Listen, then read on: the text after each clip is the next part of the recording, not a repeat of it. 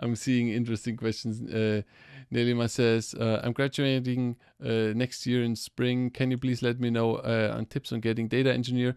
Should certification in Google Cloud Platform or Azure help? Um, you can do a certification, but a certification, I mean, um, if if you go in and you don't need a lot for for uh, Google Cloud, Azure, or or AWS, and you can there are tiers to start for free. And so what I would do is I would I would focus on something on, on one thing, let's say Google Cloud. Go in, create an account, and play around with the stuff.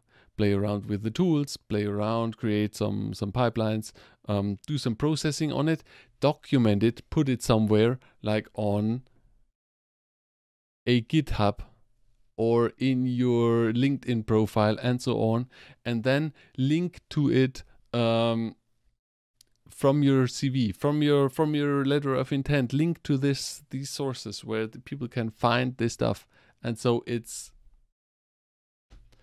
Uh, Bruno says, just say read my free data engineering cookbook.